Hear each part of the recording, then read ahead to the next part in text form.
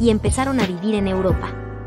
Sin embargo, aquellos que vivían en Inglaterra tenían la mala fortuna de que el rey no los quería. Teniendo esto en cuenta, nos muestran a uno de nuestros protagonistas llamado Harald, quien va a viajar a Noruega, ya que es un príncipe y se convertirá en el futuro rey de Noruega. Mientras tanto, su hermano fue llamado por el rey de Inglaterra. Al llegar, el rey Etelredo les confiesa que no le gusta la presencia de los vikingos en su territorio, y les dice que ya dio la orden de que fueran asesinados. Y empieza la masacre contra los vikingos.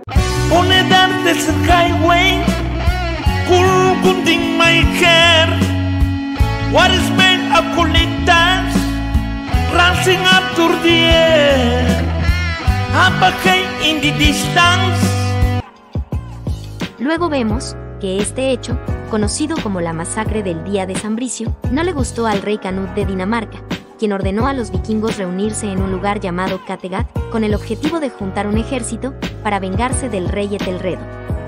Estando en Kattegat, vemos que Harald está vivo, ya que se había ido antes de la masacre. Y llegan nuevos personajes que son Freydis y Leif. Por un lado, Leif se va con algunos compañeros a explorar el lugar. Mientras tanto, Harald va a conocer a Freydis y coquetean un poco.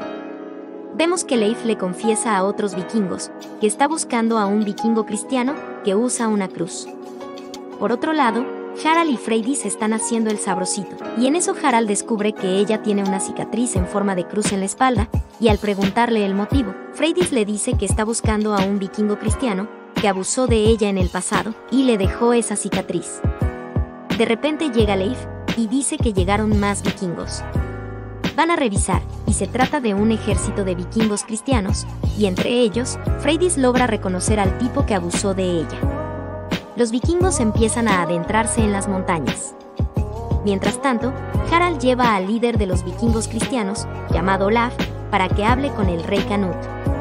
Pero Olaf dice que no peleará junto a vikingos que no sean cristianos, por lo que propone convertir a todos en cristianos para poder juntar los ejércitos.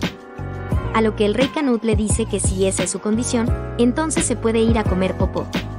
Luego vemos a Leif y Freydis hablando con su grupo, y dicen que es muy arriesgado vengarse del vikingo que abusó de Freydis, ya que los matarían al instante. Sin embargo, Freydis parece estar decidida a vengarse. Esa noche, están todos los vikingos reunidos, y el rey Canut explica que planean vengarse del rey Etelredo, por haber asesinado a los vikingos en Inglaterra. Pero en un momento, los vikingos cristianos empiezan a discutir con los no cristianos. Así que llega Harald y da un discurso de que todos deberían estar unidos, ya que a pesar de sus diferencias religiosas, todos son el mismo pueblo vikingo. Y ahora parece que van a trabajar juntos. Al día siguiente, vemos que unos tipos acorralan a Leif, diciéndole que su padre había asesinado a uno de los suyos. Pero esto parece ser una excusa para mostrarnos una escena de pelea entre Leif y ellos.